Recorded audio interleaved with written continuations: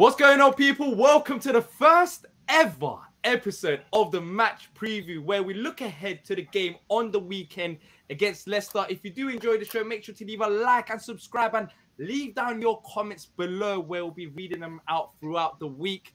Joined by Patrick T. Stan, got full house here for the brand new show. Look, gents, we've got Leicester on the weekend. We're coming off a win against Leeds.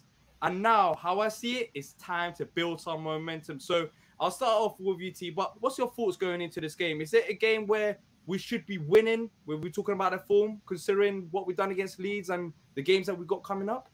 hundred percent. And when you're talking about uh, form, when you're talking about the quality of opponent that we've played up to this point, um, this is definitely a, a, a, match where we should be taking three points and, and, looking up the table. I mean, I think right now it's only uh, one point between us and what something like eighth place something like that, something crazy. Yeah, we'll talk about the league table as well. We'll show the yeah. league table in a second. So it's it's a, it's a chance for us to to really make some moves uh, through these next few games. Yeah, Stan, looking at it um, in general, um, going into this game, we talked about we're going to talk about Leicester's form, but looking at Palace side of things, you being quite upset with the start that we've had after this win against Leeds. Um, do you think games like Leicester side that is struggling, that does have quality in in them, in all honesty, that just hasn't come out so far this season? Do you think it could be also a hurdle for Palace going into this game? I don't know if it'll be as straightforward as some make it out to be. I know they've been struggling, but they've still got some quality players there. Yeah, I, I don't think it's going to be as straightforward as so like some people make it out to be. Um, listen, I think um, you know in hindsight we did have quite a tricky start. Obviously, I think like I said, some mistakes where we obviously conceded late goals, etc., etc. But I think we showed the team showed what they can do on Sunday with obviously a comeback from behind and you know beating a team around them. But it's not going to be easy. Um, we haven't won up there in a while, actually. Um, in fact, yeah. we haven't beaten Leicester in, in about five games. Um, so yeah, they've still got you know they got Tielemans, they got Maddison, they still got Vardy who loves a goal against us. So yeah, Harvey Barnes, you know they're struggling, but they still got good players. So we should uh, we shouldn't think it's going to be a walkover. Absolutely. So let's so let's look at the league table. Let's look at the league table ahead of the game. Uh, pre-game week 10, of course, we've got some games in hand uh, due to the postponement of games. Right now, we sit 15th in the table, nine points. If we win this game, we could potentially go up to eighth. So, Patrick, when you're looking at the league table and you're looking at Leicester's form, surely you must be thinking similar to what I am in terms of, you know, this could be a very good opportunity for us to look above the uh, higher up the table rather than down because so far we've been 17th, 16th, 15th, and if we win this game, we could potentially go up to maybe eighth, which would be incredible. Well, we're the first game for the weekend, right? Or the second game? If there's a is there a game on Friday or no? I know there's a Friday game. There's a Friday, Friday game. Mm-hmm. Second game. Right, but I'm guessing if we win the game, we get to 12 points to be behind Bournemouth on about eight, about ninth or tenth. That would be great. But um, can't take it for granted. Listen, Leicester are having a lot of problems. I don't know what's going on because they have quality players in Tielemans and Vardy and Barnes and of course Maddison. I'm not sure what's going on with that team. They, you know, the one previous game now they've lost. So they've they've lost four of the last five games. It's a big match for for Leicester. It's a big match for their manager. If they lose, I can't see him surviving. Honestly, uh, so I'm not taking it for granted that we can win the game. I was very happy with the win against Leeds. There are things we still have to work out there. But as far as games going forward, I think that you know we're in a good spot now. We've got some win very winnable games of the next four or five games. This is the start of it. You know, we've got to build on that Leeds win. We've got to build on it. So I'm not taking for granted. Uh, Stan makes a great point. We haven't won up there. We're not beating them in a very long time. Some draws, but not beating them. And you can't take you know less for granted. But they're in the mud. I mean, you go into the stats later on. Their goalkeeper Danny Ward is very very poor. He's very very poor. So there's an opportunity there for us to score. We don't score against, we don't score at least two against them on Saturday. It's it's going to be poor. But I mean, he's faced 43 shots this season. He's allowed 24 goals. I mean, yeah. there's only one keeper that I could think of. It's pretty bad. Age, even close to being as bad as that. Honestly, I've, I've, so, uh, look, I've already said it. I, I, he's the worst goalkeeper in the Premier League. Maybe Dean Henderson can't save long range shots, but I, I, I still believe that Dean Henderson probably better than Danny Ward. But right. if we don't score two goals in this game, let's just not even count it as a win because when you're looking at the goalkeeper, he's just he's he's what the one player that we you know what, D. You said I don't count it as a win, but I know obviously Forest aren't a great side, but they went up there. Obviously, Leicester got the first win of their season um, up there. I think we've got to be careful. We've definitely got the players to beat this team. We should, you know, go out there and, and just do what we got to do. It's good to see Olise getting a run of games, and you know, hopefully he can keep, he, you know, he, he can build on everything. But yeah, I don't know, man. Like Danny Ward, and what's it called? Just win, and that will be important. Yeah, I agree. I agree. I think the win is more important, but it just shows with the quality of Olise, Edouard, which we'll talk about as well, and Zaha, Eze on the pitch. I think with the creative outlet that we got, we should be getting a few goals in this game. But we mentioned about the their form, uh, recent form, and Stan, I think it was you that mentioned about the last five matches, and I didn't realize this, but we've got zero wins. Zero, zero wins against yeah, Leicester in the last five matches, and Leicester's won the game three times. We've drawn against them twice for me, I remember when we faced them at home last season where it was 2 0 down, we brought the game back. Is am I fair in saying that maybe they're the one side that we tend to struggle, struggle against regardless of their form? Because they weren't that great last season as well. I think they're one of a few sides that we tend to struggle against. They seem to always have our number in some ways. Um, like I said, Vardy loves scoring against us as well, so we need to be careful. But I think it's you know it's about time that we you know that, that we gave them a beating, really. So let's see what happens. Yeah, Patrick. When you look at the last last five matches, just in general, their form, they've got loss, um, three losses. In fact, yeah, four. They should have four losses there and four one win. Five, yeah, yeah right. one win, and that one win was against Nottingham Forest that has been struggling all season long. Now, when you look at our four and uh, how Leicester's got three wins, two draws against us, and you look at their last five games, does that still give you a bit of confidence? Look, they're not playing that great, but seems like they always turn up against us.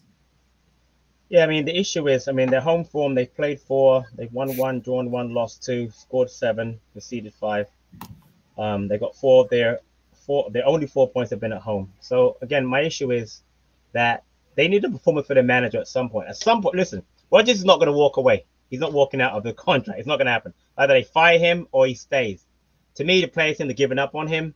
You know, they sold Fofana, um, one of the obviously one of the best defenders they have. They didn't they didn't buy anybody. They did, they basically didn't buy anybody in, in the entire window, which is very strange. You know, the one the FA Cup a couple of years ago. But they were good. Listen, I rate I rate the manager. I think they're a decent team. I just don't understand what's going on with them. So I'm worried about they might put a performance together against us. I mean, that's the Palace way, right? I'm hoping we get the win, but I'm not taking for granted that this is an easy win. They are not a great side on form currently, but that doesn't mean that they can't put a performance together. And as again, as you and Stan just said, they we tend to play not great. It's mainly been Rodgers. If you look before them, we won. It was we won like four games straight against them when, early when they when they came back to the Premier League. But it's just been it hasn't been great. But again, last year we were down two at home, got the two two. The game I'm not counting the game after the FA Cup, but that was just a down performance in general. Two one loss was just an awful performance, even though you know Wolf got the goal. But uh, you know, I, I feel that we're on the ascendancy. We've gotten through the hard part of our schedule so far.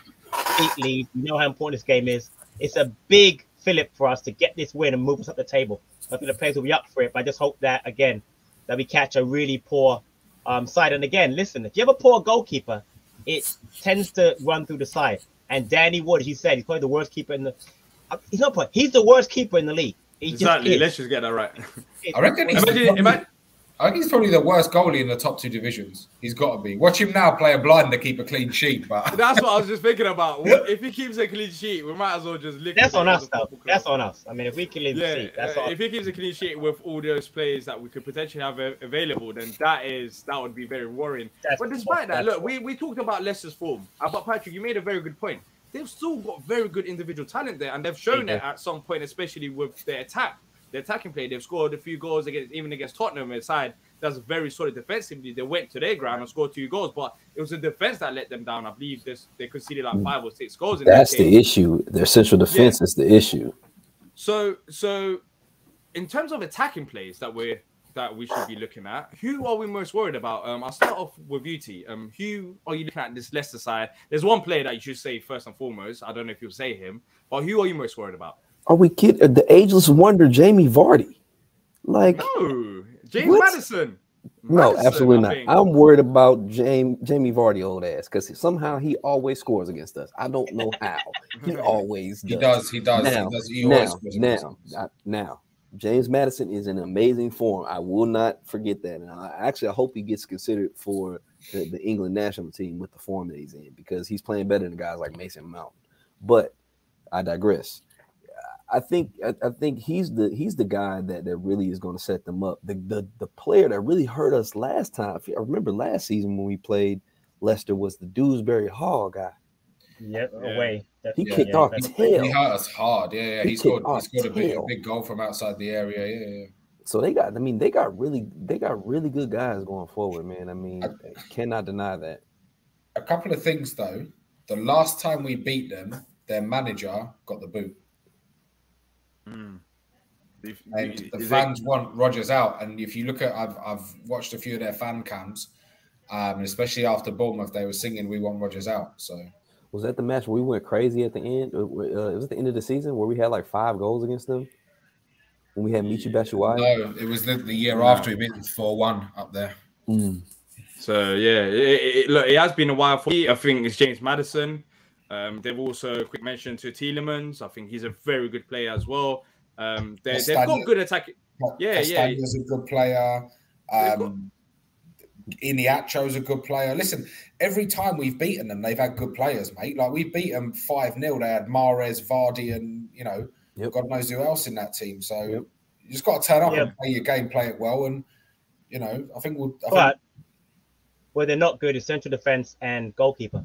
That's, that's the, the that's, where they're not good is the, right down the middle. Main, I mean, yeah, that's their problem. Yeah. So, yeah. Well, we still have to watch issue. out for their attacking players. That's that's no, I, I agree with that. We, I agree we can't that, just but... we can't just go into the game thinking it's Leicester they're doing poor. They've still got quality in that side, and maybe Absolutely. the quality is not showing it back in defense and in goal, but quality is still showing in midfield because James Maddison has been on form. I don't mm-hmm. understand how he's not getting called up to the English squad. Harvey Barnes, about... good player. Yeah, uh, he can he can turn up. There, there's players that have turned up this season and can turn up in this game that we need to be solid defensively. Now, yeah. when we're looking at our side of things for Palace, who are we look, most looking to perform in this game? The one name that gets mentioned, Patrick, we we laugh about, joke about it, but Edouard, his goal scoring form. He when we're talking about Leicester conceded so many goals, you expect him once again if he gets the opportunity to get another goal. This could be a very nice streak for him facing against the side that's struggling defensively. If he does get the service hopefully can continue. I think Edouard would be one of the key players in this game in terms of us getting a result. He's going up against the brand new Belgium um, central defender Faes and they and Jonny Evans. I mean, he's very confident now. You can tell by the interviews post match. We didn't even see a, a Edouard post match interview in in months, and I'm really happy to see him talking because that shows that when interview a player, it means that he's doing well. His confidence level is way up. Um, so for me, he should be having a field day on Saturday yeah. against those. So he just really should be. He's confidence back again. As someone mentioned before about his hold up play has has gone up levels, which is great to see. You know his ability to you know that poacher ability, the same goal that he scored uh, on Saturday. I didn't think he scored a goal like that Sunday. Sorry, just that getting in at the end of, of a header like that on a great ball. By the way, another key is having Olise on set pieces is massive for us. He's better than Luka. He's to me, he's even better than Eze. His delivery is great he and Edouard have something going on as far as getting on the end of it. So that's great. But that's going to be key for us. And and honestly, my only issue, honestly, is the midfield three again because I, I don't want again to see Doucouré to overwork. If he gets an early yellow card, it's gonna be a problem. He's doing all the tackling midfield, but possibly now I'm thinking that maybe the reason why uh, Vieira started that midfield three against Chelsea, then leave with the build up to teams like Leicester and Wolves, because maybe against those kind of teams that are not great defensively, we can be on the front foot more and score more goals. Because again, our goal is to score two, three goals, and that will put pressure, less pressure on our defense. But again, more pressure on them. If let's think about two early goals against us, that fans gonna be all over them on Saturday, all over them, and that's gonna be key. They're yeah. giving up four goals, five goals, and six goals this season already. They're, they're, they're the stadium will turn toxic. The stadium yeah, will turn toxic exactly. up there. That'll be key. So if, if Far, get on, yeah.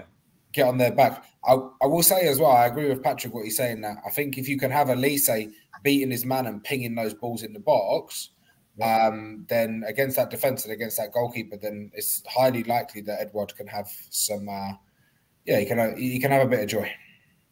Yeah, I, I, agree. I think T. Um, another aspect that Patrick mentioned about is the midfield. In this game, when you're talking about the likes of James Maddison, who's been on form, it, will be. I think another key is that Doucouré is starting, and also he's on Maddison because ideally, if you want to win this game, you have to take out Maddison from the equation. And I feel yeah. like we've got a player to do that. But then again, it's it's important for Doucouré not to get early yellow card like he did against Leeds, Yep. and him for for him to be fit for the 90 minutes. Do you think Doucouré would also be the key on the other side of things in terms of us getting a good result?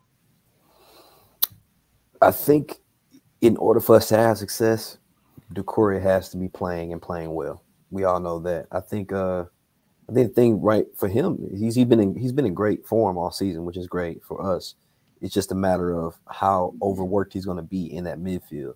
I think we could be more attacking with that same midfield that we started uh in the last couple matches, but um I would I would like to see him get a little bit more help defensively, especially in this type of match, because like you said, you want somebody like Doucouré to be, you know, kind of like assigned slash watching out for Maddison.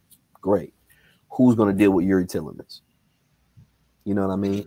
I think So- um, Vieira switched it though in the second half, didn't he? Yeah, he did, and, and it's like it's like, do we go with what he switched to? Yeah, I think you go start with what he switched to, and then So let's see what happens. But it seemed to so work. let's talk about that. So let's talk about that. Do, do we do we think that Jordan Ayew should start in the number eight role because it seemed like when he was playing there, it offered a bit more balance. Patrick, you're you're saying no. You're, you're No. shaking your head. I like so the why wouldn't you want him to start there? I like the flexibility of having him and Olise switch. I don't want him to start there. I think he's more comfortable on the outside. He drew the foul, you know, he drew the foul that led to the free kick that Olise put in for Edouard. He draws Mhm. fouls playing out wide. I'd rather have him have him out there. My only issue midfield is that Olise and Eze have to be on the ball more, control the game by possessing the ball, Yep. not have to decoy tackle as much. If we could do that, we'd be fine. Now, I, I like how it started out as far as having them in there. It just doesn't, it didn't go to, to plan. If it mm-hmm. doesn't work out, then switch Ayew inside and put Olise outside. But I'd ra- much rather have Olise and Eze in there to control the ball more, frustrate Leicester by keeping the ball away from them and have Doucouré behind them as a shield. If it's not working out, you've got the flexibility to switch it up again, what he which he did on Saturday, which Sunday, sorry, and, and move it around. But I honestly, I know in this whole Jordan Ayew as the number eight, and I understand it later in the match, but I honestly would rather have Olise start where he started because he and uh, Eze have a good understanding, as does Edouard. They switch a lot, and I'd rather have that flexibility than having it start that way and then being forced now to push Jordan. You know, if he doesn't work out, push Jordan back outside when we're perhaps down a goal. So I'd honestly, I'd rather it start the way we started on. I, I just want to keep building on the, those three in the middle, see if it works, mm. as opposed to just say, okay, two games, it's not working out, let's stop it already. You know what I mean? I talk about the thing with Edouard beginning season, get Edouard a run of games, give mm-hmm. him for the run of games, give him a couple more games, and if it doesn't work out, then maybe towards maybe Wolves or later on, we might say, okay, it's not working out, let's put it, are you in the middle, that kind of thing. I mean, it is an easier adjustment if they're both on the pitch at the same time. Exactly. You Exactly. know, it's, it's not like we have to make it's not like we have to make Yeah, a sub like a in sub, order to, exactly. to- to so make that change. Yep. yeah. Agree. Yeah. So, uh, talking about injury concerns, there shouldn't be any injury, new injury concerns um, going into this game. From so far, from what we've heard in a week, the the usuals. Um, it seemed like everyone from the Leeds game has done well. There was no substitution related injuries. Um, so there's Nathaniel Clyne that should be out. Um, Richards, we're not too sure if he'll be ready yet. Uh, of course, uh, Macca and Ferguson also out. Um, we've got strong squads, so let's move on to the final section of the show, the score prediction. We've got a strong squad. Um, despite having Clyne and Richards out, we've been talking about our players who can step up to the plate. So let's go around with score predictions. And we talked about the game. We talked about how important it is to win. T, um, I'll go back to you later. You seem like you're excited about your score prediction. I'm expecting thinking about it. I'm thinking about it. I'm Uh, thinking oh, about you're it. still thinking about it. Well, look, I'm Mhm, going to start off with Stan. Stan, Leicester versus Palace, 12:30 kickoff on Saturday. How do you see it going? Um, I'm gonna go two 0 Palace. Yeah, 2 0 Palace. Patrick. Uh, I was looking at the last three um, uh, Leicester matches. They gave up a lot of goals from the 70th minute on, a lot of late goals. So I'm hoping that by that time, if we're up maybe 2 1, we get a late goal. I'm going to go 3 1 Palace. Scorers Edouard 2, Zaha 1, and Maddison scores for Leicester. Oh, Edouard, two goals, man. That, that would be lovely. Just to make you happy, I said that, by the way. Exactly. Mateta's going to get 2. Yeah, he's gonna get two in the warm up. Um, T. Um, so with you, fight. Well, not finally. I'm gonna give my score prediction as well. Well, how do you, how do you see this game going? You you were saying you you're getting excited by it. You're getting excited by it. I'm being completely honest. I was gonna go three one. What Patrick said I was, but now I'm gonna say three 0 Palace statement win. Ooh. Love it. You know what? I think this is a massive game for us. The Leeds game doesn't mean anything if we lose against Leicester. If we want to build a bit of momentum, push up the table as we looked at the league table, we could push up to eighth. For me, I'm going for a 2 0 Palace victory. Be solid defensively. They've still got a threat, but we've got a solid back line. I know there's a, maybe a weakness there with maybe Joe Woods at right back. That's a debate for another day. But I still feel like we've got decent enough plays, enough attacking plays to go and score two goals beat Leicester away from home 2 0 and get the momentum going. Of course, let's have your say. Let us know your score predictions in the comment section down below and how you see the game going. Also, it's our first show. Send us your feedback, what you liked, didn't like about the show. And, you know, we're going to build on it from every week onwards now. But this is the first match preview show done and dusted. And until next time, up the palace. Up the palace.